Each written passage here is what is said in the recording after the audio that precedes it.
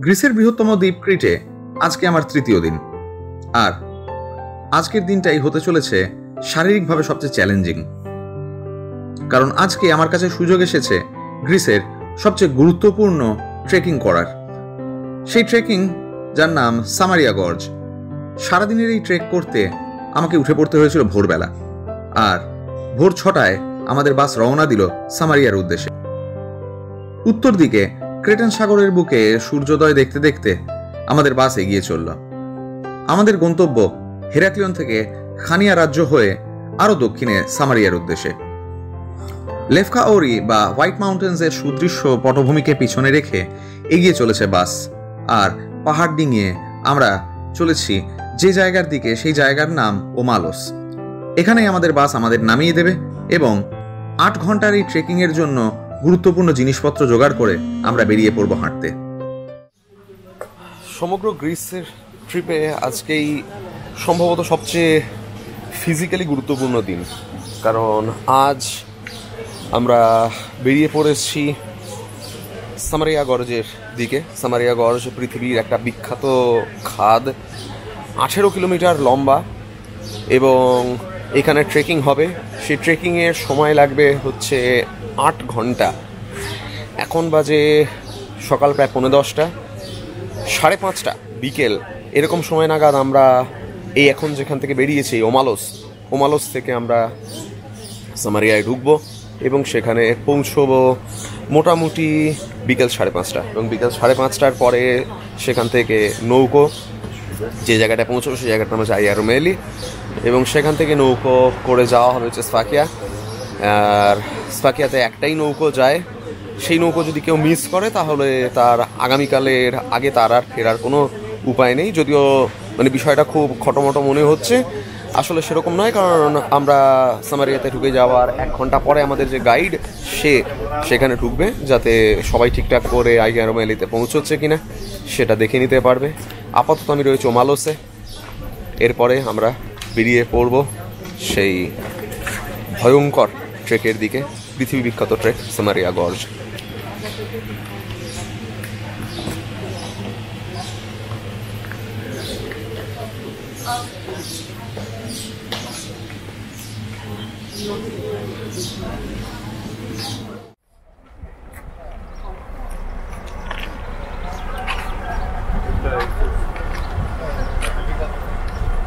Samaria gorge এখানে ঢোকার ticket পাঁচ ইউরো আর কিছুক্ষণের মধ্যেই আমাদের যাত্রা শুরু হবে।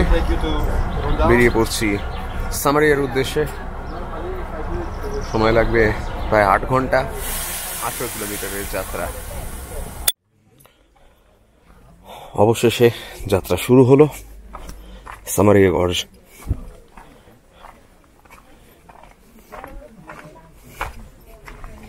নিচে এই পথ বেয়ে বহু চড়াই, বহু উতরাই। পথ পেরিয়ে আমাদেরকে পৌঁছতে হবে শেষ প্রান্তে, যেখানে রয়েছে সমুদ্র। তার মাঝপথে আরও নানা রকমের দর্শনীয় স্থান।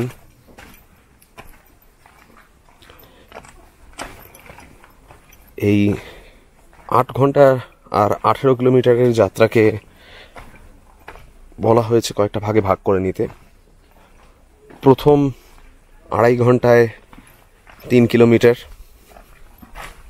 এবং তারপরে সাড়ে পাঁচ ঘন্টায় প্রতি ঘন্টায় তিন কিলোমিটার। কারণ প্রথম অংশটা বেশ কিছুটা চড়াই পথ। এখন নিচে নামছি ঠিকই, কিন্তু এরপরে উঠতে যথেষ্ট বেগ পেতে হবে।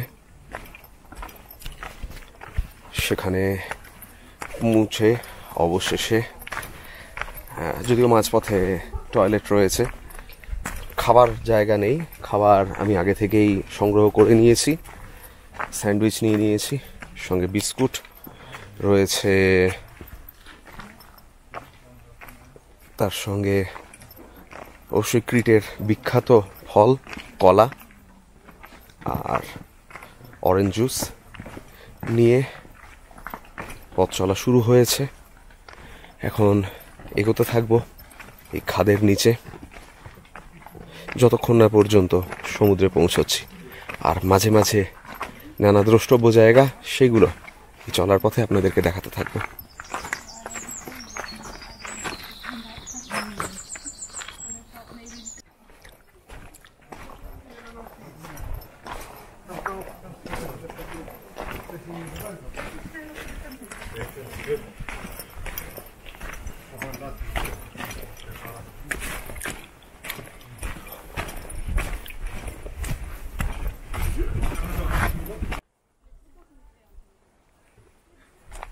সবে এক কিলোমিটারের মাইল ফলকে পৌঁছলাম। আর এদিকে দু একবার হোঁচট খেয়েছি। বেশিরভাগই সাদা পাথর, ফলে মারাত্মক পিছল। এখন এই পথ ধরে নামাটাই একটা বড় চ্যালেঞ্জ সমতলের ধারে কাছে নেই এখনও। সমতলে পৌঁছতে যে হয়ে যাচ্ছি, তাতে মনে হচ্ছে এক ঘণ্টার উপর লেগে যাবে। ঠিক পঁয়তাল্লিশ মিনিটের মাথায় দু কিলোমিটারের মার্কে পৌঁছলাম। এখনও ষোলো কিলোমিটার যাওয়া বাকি। সবে চলা শুরু হয়েছে। ইতিমধ্যেই মোটামুটি হাঁটু রীতিমতো তাতে কাঁপন ধরে যাচ্ছে। নিচে নামতে এই কষ্ট, উপরে ওঠার সময়ের পরে যখন চড়াইয়ের পথ পড়বে তখন কি হবে জানা নেই। তার উপর কিছুক্ষণ আগে এক জার্মান ভদ্রলোক খেয়াল করল যে আমার ব্যাগ, তার চেন খোলা ছিল।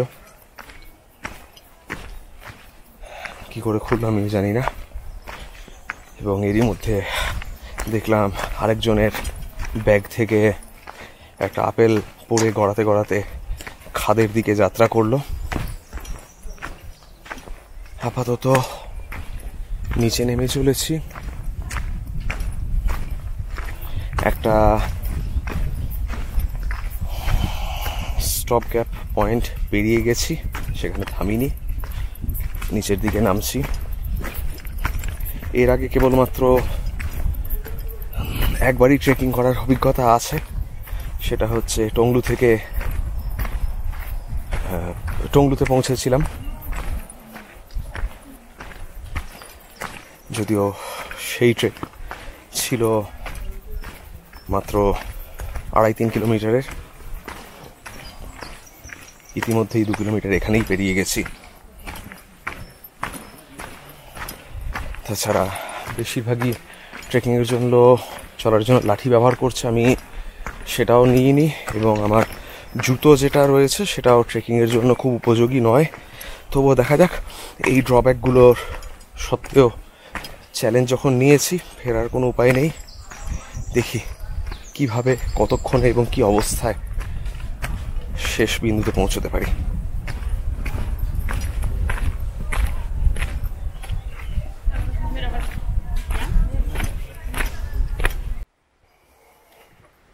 তিন কিলোমিটার এসে পৌঁছতে সময় লাগল।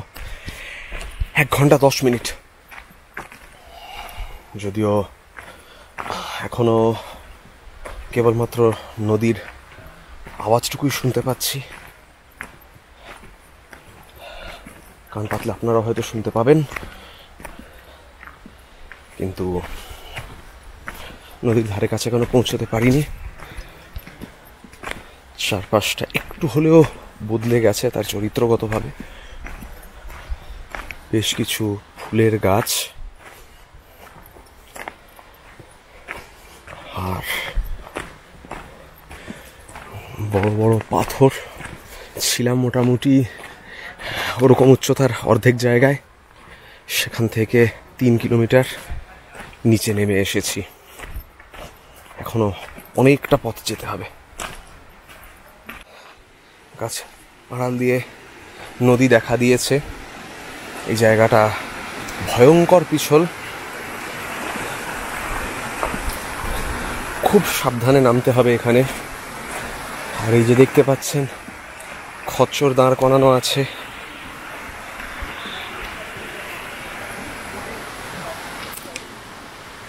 গাছের নিচে। এগুলোই হচ্ছে এখানকার সামারিয়াগঞ্জের এমার্জেন্সি ট্যাক্সি যদি কেউ অসুস্থ হয়ে পড়ে বা হাত পা ভাঙে, তাহলে এরাই একমাত্র ভরসা।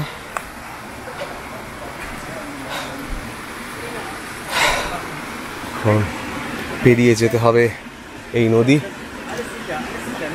কিছুক্ষণ এখানে বসে নেব।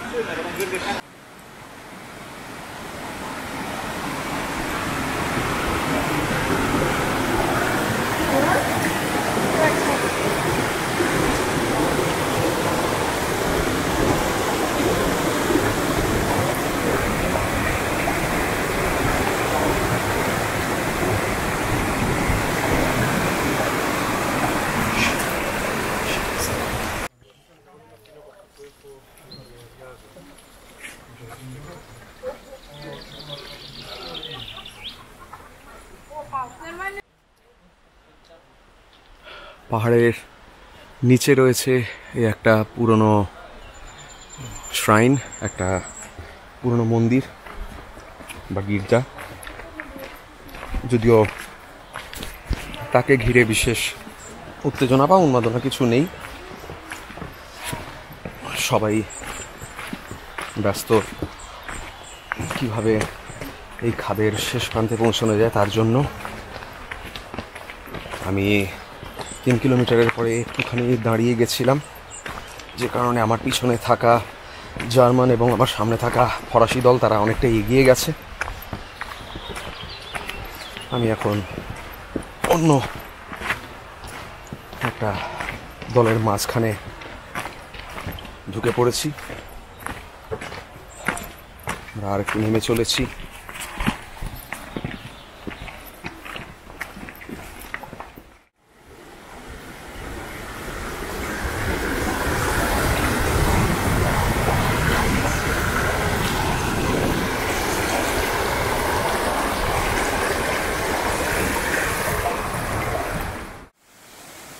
উচ্চতা থেকে প্রায় পাঁচ কিলোমিটার নিচে নেমে এসেছি। নেমে দেখা পেয়েছি ঝর্ণার। কিছুটা জল ভরে নিয়েছি। কারণ ইতিমধ্যেই বোতলের অর্ধেক শেষ। এখনও যেতে হবে প্রায় বারো কিলোমিটার। ছ কিলোমিটারের কাছাকাছি এসে অবশেষে একটু সমতল পথ পাওয়া গেছে। যদিও এই পথেও প্রচুর পাথর ভর্তি। অন্তত ঠিকঠাকভাবে পা মেলে হাঁটা যাচ্ছে।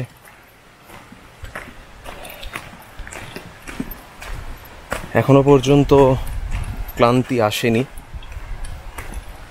পা যদিও মাঝে মধ্যেই ব্যথা করছে, কিন্তু একদমই নিরুপায়। কারণ পৌঁছতে হবে।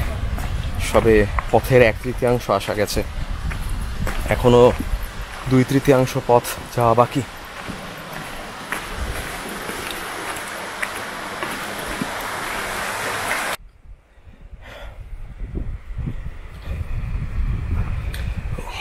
অনেকটা উতরাই পেরিয়ে চড়াই এবং আবার এই একটা সমতল এলাকা। অর্ধেক দূরত্ব পেরিয়ে গেছি। প্রিনারি ছিল ছ নম্বর স্টপেজ এবার আমরা যার পথে যাচ্ছি, সেই স্টপেজটার নাম হচ্ছে সামারিয়া।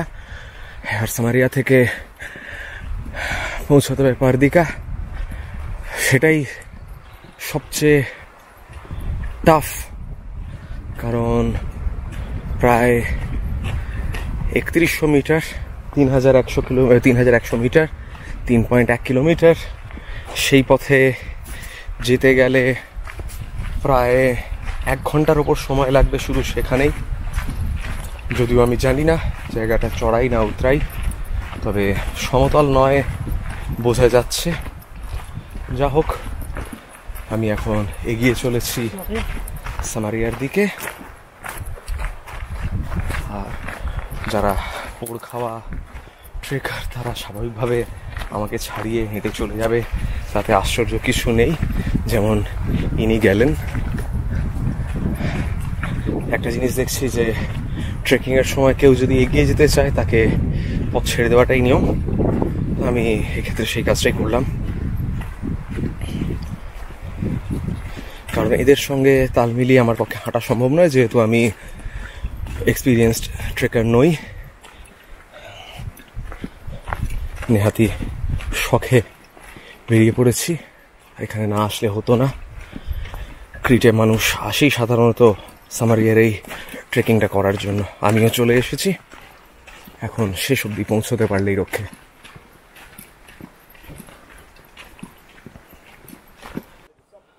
নামার পথের সবচেয়ে কঠিন অংশে আপাতত আমি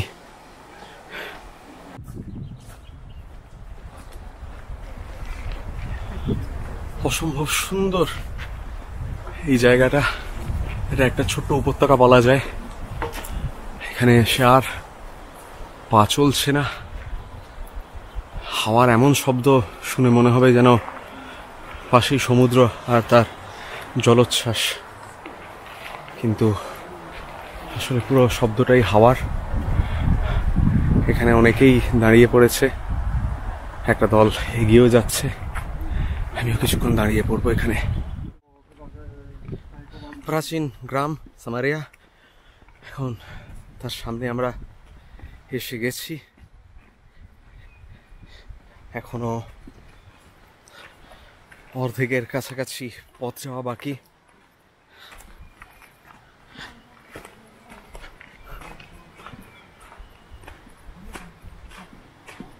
এই গ্রাম গ্রিসের স্বাধীনতার ইতিহাসও যথেষ্ট বিখ্যাত। কারণ এই এলাকা এতটাই দুর্গম ছিল যেখানে অটোমান বা কেউই কখনো সেইভাবে আক্রমণ করতে পারেনি। ফলে অনেক সময় গ্রিসের স্বাধীনতা সংগ্রামীরা ঊনবিংশ শতকের শুরুর দিকে তারা এরকম গ্রামগুলোয় আশ্রয় নিয়ে নিজেদের গেরিলা যুদ্ধ পরিচালনা করত। সামারিয়াও সেরকমই একটা গ্রাম। ছোট্ট সুন্দর একটা গ্রাম।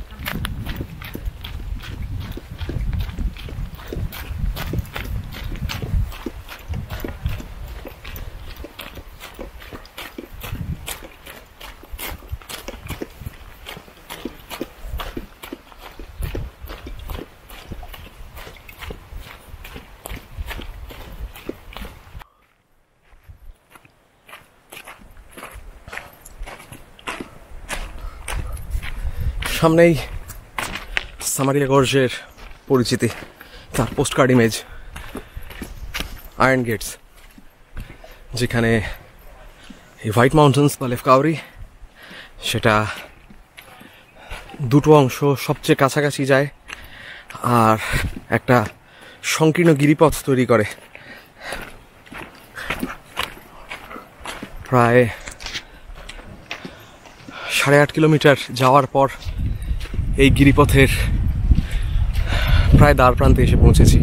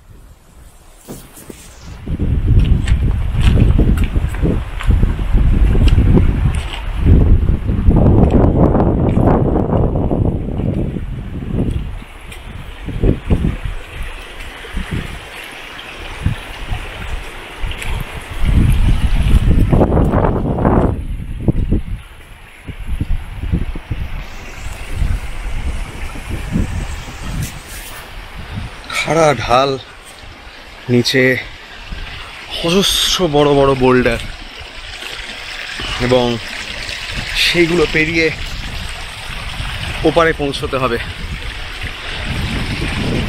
আয়রন গেটস বা লৌহদুয়ার এমনি এমনি নামটা হয়নি।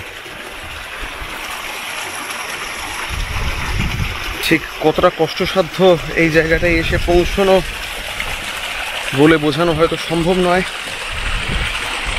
এরপরে রাস্তা আরও ভয়ঙ্কর হবে নাকি সহজ হবে তা জানা নেই। এইটুকু জানি যে থেকে আজীবন বইয়ের পাতায় দেখে এসেছিলাম, এখন চোখের সামনে দেখতে পাচ্ছি।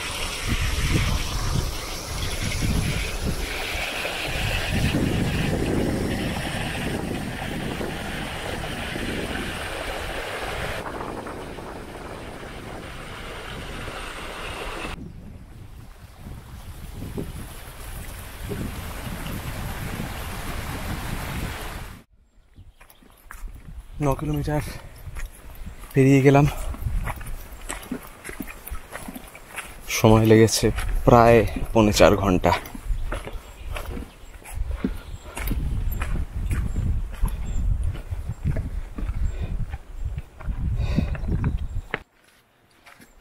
দশ কিলোমিটার পেরিয়ে গেছি। আয়রন গেট পেরিয়ে গেলেও খাড়া ঢাল এখনও চারপাশে রয়েছে। আর মাথার উপরে দক্ষিণ ভূমধ্যসাগরের সূর্য রীতিমতো প্রাণ নিংড়ে নিচ্ছে। আপাতত পা সঙ্গ দিচ্ছে বলে ভরসা। যদিও বার পাঁচেক পা মচকেছি। কিন্তু সেটা সেরকমভাবে মচকানো নয়। এই সময় যদি পা ক্র্যাম্প করে বা কোনোভাবে বসে পড়ি এখানে, তাহলেই মোটামুটি ট্রেকিং শেষ। কিন্তু শেষ অবধি পৌঁছাতে হবে। এছাড়া কোনো উপায় নেই।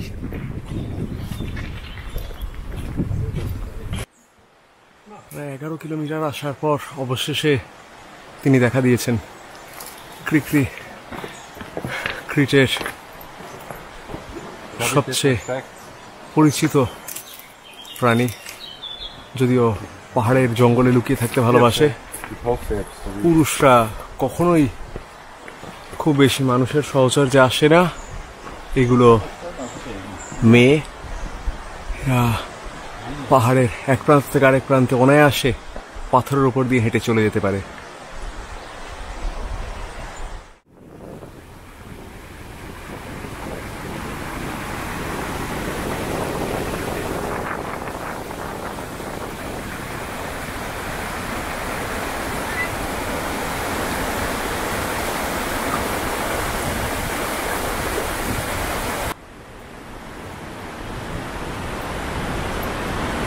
খাদের সবচেয়ে সংকীর্ণ অঞ্চল এটা।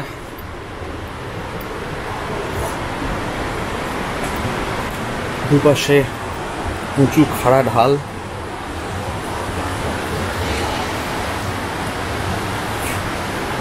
খাদ শুরু হয়েছিল যে অঞ্চল দিয়ে। তার সঙ্গে এই জায়গার সামান্যতম চরিত্রগত মিল নেই। এবং কয়েক কোটি বছর ধরে তৈরি হওয়া ভূমিরূপ। একটা সময়ে যেগুলো সমুদ্রের নিচে ছিল। দেখুন, পাথরের গায়ের এই যে দাগগুলো, সেগুলো খুব স্পষ্ট করে বুঝিয়ে দিচ্ছে। বলতে বলতে আমি হোঁচট খেয়েছিলাম, কিছুক্ষণ আগেই বাঁ একটু হলেও ক্র্যাম্প হয়েছে। গতি কমে গেছে যদিও, তবুও চেষ্টা করছি একটা দলের সঙ্গে থাকার। কারণ এখানে কোনো দলের থেকে বিচ্ছিন্ন হয়ে গেলেই কিন্তু বিপদ ঘনিয়ে আসতে পারে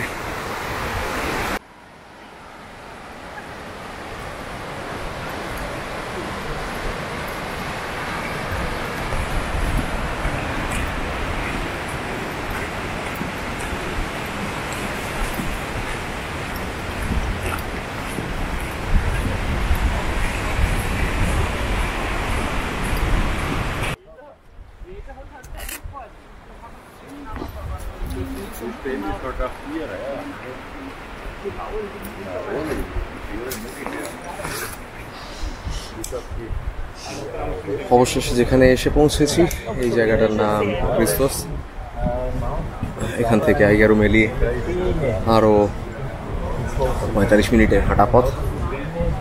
এটা সমতল এলাকা। একটানা অনেকক্ষণ হেঁটে অবশ্যই তিনটে পাঁচ বাজে যখন, তখন আমরা এখানে পৌঁছেছি।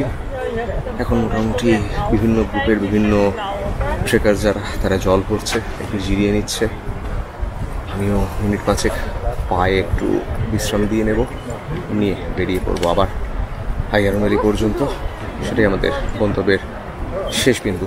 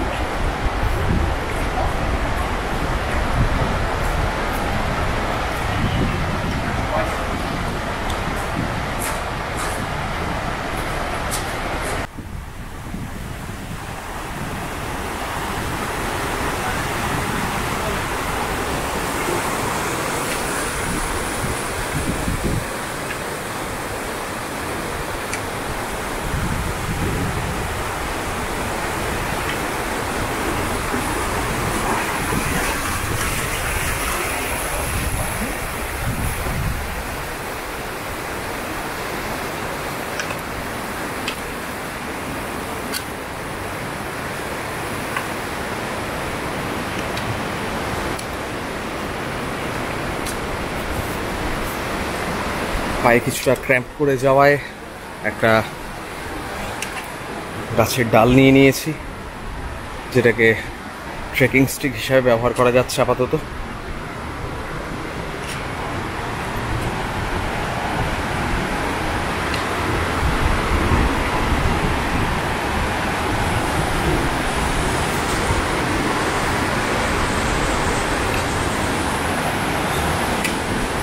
অবশেষে আমরা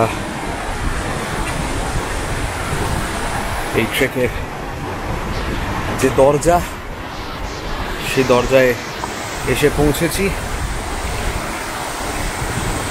এই শেষ দরজা। এটা পেরোলে ট্রেকিং শেষ হতে আর বিশেষ বাকি থাকবে না। বড় জোর এক কিলোমিটার মতো।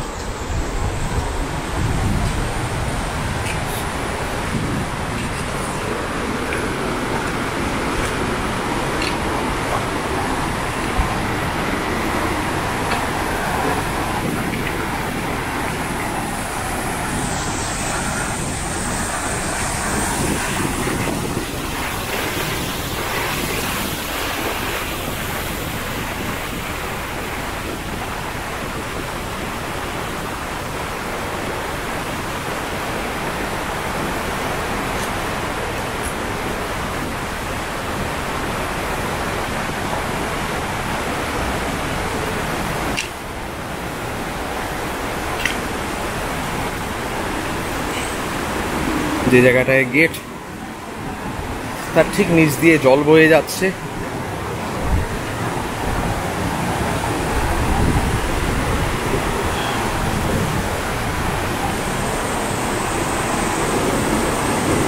তার উপর একটা ছোট্ট সাঁকো করা রয়েছে।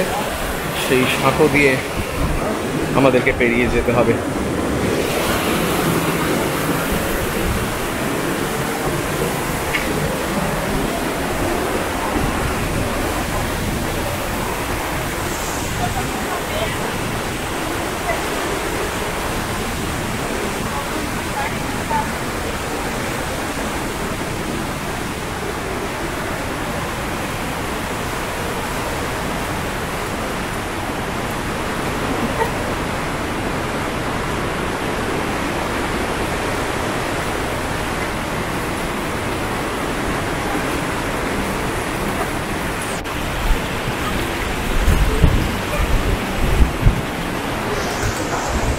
যারা আইয়ারমেলি থেকে স্মারিয়ার দিকে যাচ্ছে, তাদের কাছে এইটা ট্রেকিংয়ের সূচনা। আমাদের কাছে এটা ট্রেকিংয়ের প্রায় অন্তিম পর্ব। যদিও সমুদ্র আসতে এখন অনেকটা দেরি, তবুও ট্রেকিংয়ের সবচেয়ে কঠিন অংশটা আমরা পার করে এসেছি।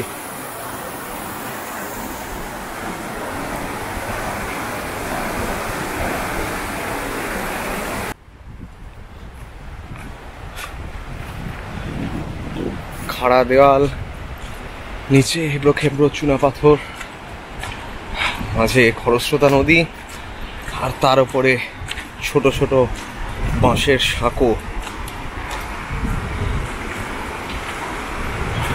প্রায় যাত্রার শেষ লগ্নে এসে গেছি।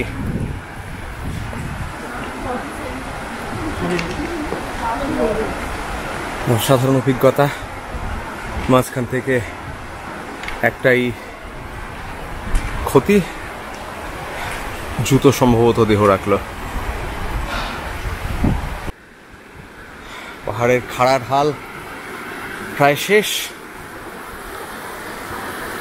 চারপাশে গাছে ফুলের বাহার যেন জানান দিচ্ছে আমরা যারা সকাল দশটার সময় আমাদের যাত্রা শুরু করেছিলাম সামারিয়া গর্জে, তারা আর কিছুক্ষণের মধ্যেই সাফল্যের মুখ দেখতে চলেছে। সামনে সমুদ্র তট। সমুদ্রের সামনে পৌঁছানোটাই সাফল্য। অবশেষে ট্রেকিংয়ের সমাপ্তি। হাইয়ার মেলি সামনে কাঠের মধ্যে লেখা রয়েছে end of national park congratulations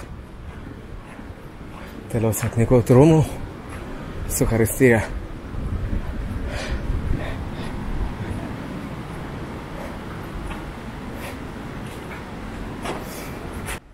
বাঙালিদের মধ্যে অনেকেই নানা জায়গায় ট্রেকিং করেন। কতজন তাদের মধ্যে গ্রিসের এই UNESCO world heritage site natural world heritage Samaria gorge সেখানে ট্রেকিং করেছেন। জানা নেই, করেছেন নিশ্চয়ই। সংখ্যাটা হয়তো খুব বেশি হবে না।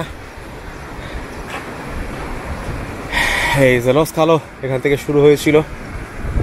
এই গোটা জায়গাটা ঘুরে এইখান থেকে হয়ে এসে, অবশেষে এই এখানে আমাদের যাত্রা শেষ হচ্ছে। বাঙালিদের মধ্যে খুব কম লোকই এই ট্রেক করেছেন। আজকে সেই গুটি কয়েক লোকের মধ্যে আমার নামটাও জুড়ে গেল। আমি সামারিয়া গর্জের সম্পূর্ণ দূরত্বটা পায়ে হেঁটে কভার করলাম। জয় বাংলা। গ্রিসকে ধন্যবাদ। এফারিস্তো আমি এলাদা এখন সামারিয়া ফেরি পোর্টে রয়েছি। এখান থেকে এই যে জাহাজটা রয়েছে কাসকালা জানিস এই জাহাজে করে আমরা পৌঁছে যাব সাকিয়া বা করা সাকেন সেখানে বাস রয়েছে। বাসে করে আবার ফিরে চলা হবে হেরাক্লিয়নের দিকে।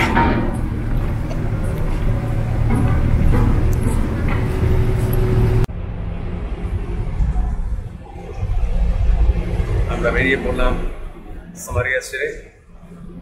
এখন আমরা যাব সাকিয়া গ্রিসের খণ্ডের প্রায় শেষ অংশ, শেষ তটমূল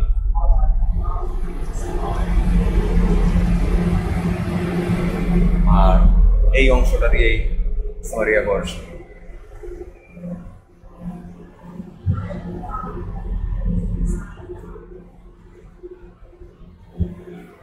বিপরীতে সোজা চলে গেলে আমরা গিয়ে ধাক্কা খেয়ে পৌঁছবো আফ্রিকায়, সেখানে লিবিয়া। এমনও আশ্চর্য ঘটনা দেখা গেছে, কিছুক্ষণ আগে আমার মোবাইলে লিবিয়ার সময় ধরছিল।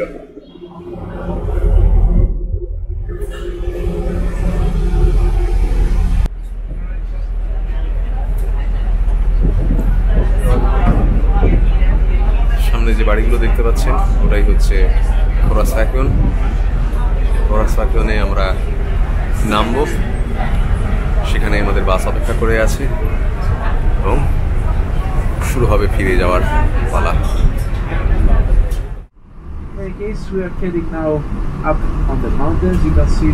The beautiful Libyan Sea on the right and the can see how different is the landscape now on the south part of it, much more wild.